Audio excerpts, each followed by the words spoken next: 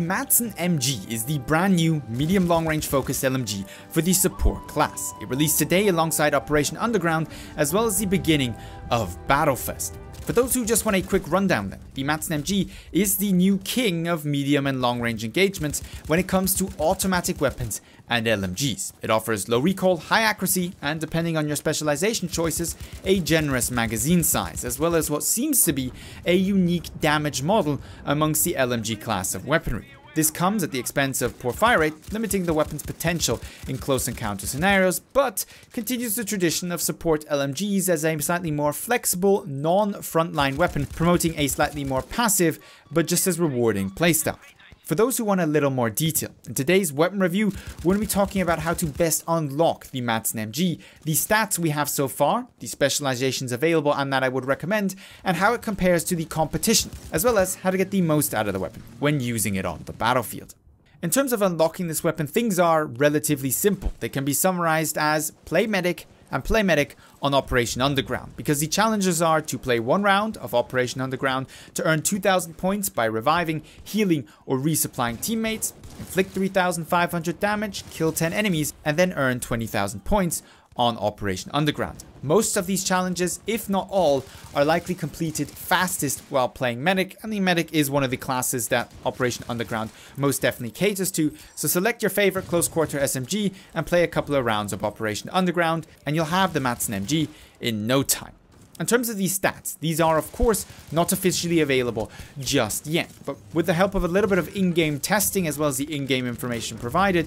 what seems to be the case is that the maximum damage of this weapon, unlike other LMGs, sits at 22 with the minimum damage at 20, meaning that this weapon has an all-range 5-shot kill, no 4-shot kill in close quarters, but no 6-shot kill from 50 meters onwards, unlike all of the other LMGs in the class of weaponry. The fire rate sits at a record low, 514 rounds per minute, identical to that of the Bren gun. The magazine size is relatively limited at only 25 shots available, and the reload times aren't exactly blazing fast. In terms of the recoil, once again official numbers aren't known, but given that the in-game information provides us with that it is slightly less than the Bren gun, it is safe to assume that the vertical recoil of this weapon is around about or less 0.66, which is what the Bren gun sits at, and the horizontal recoil likely sits at 0.15 or less, much like the Bren gun.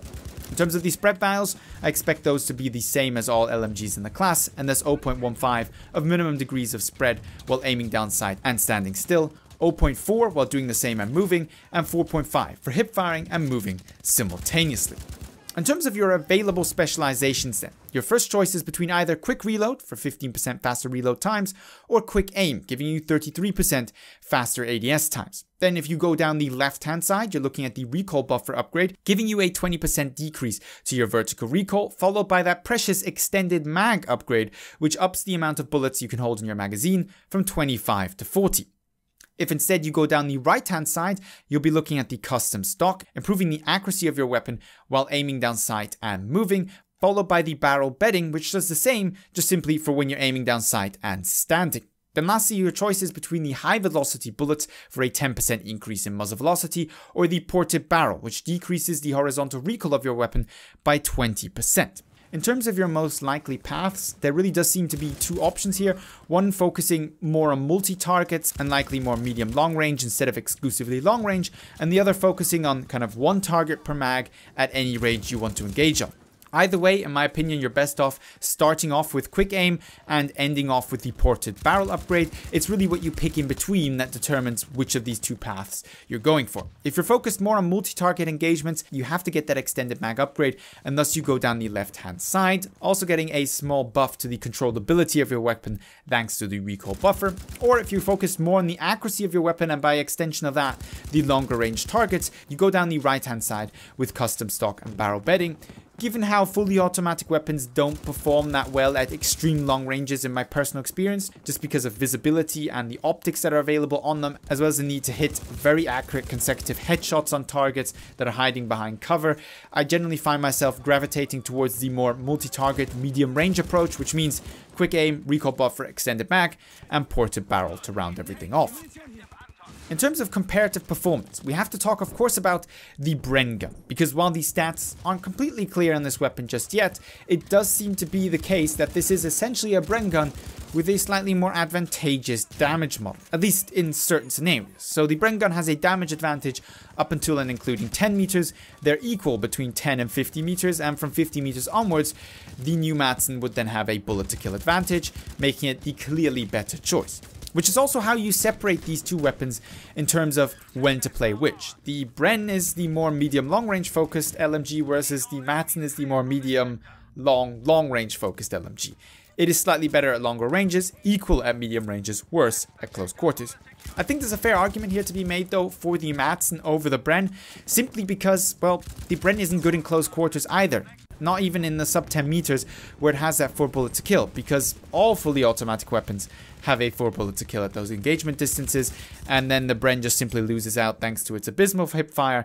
and its poor fire rate, which are shared by the Madsen MG, but the Madsen MG has an easier time taking out targets at more medium long ranges, which is why this weapon really is as interesting as it is. Now, will it ever compete with something like a Gewehr 43 at medium long range? No, most likely not. There's usually still about a 100 millisecond time to kill advantage for most of the faster firing medium long range focused semi-autos that the Assault has available to them. But the Madsen MG, as well as of course the Bren, are a lot easier to use, have the availability of a bipod, and one more thing to note, the Madsen MG, unlike all of the other fully automatic weapons, doesn't get a significant nerf to it after 50 meters because of the lack of a 6 shot kill, which means it can more or less continue to keep up with the semi-automatics, just like it can at medium range, which makes it a slightly more competitive choice when going up against these semi-autos.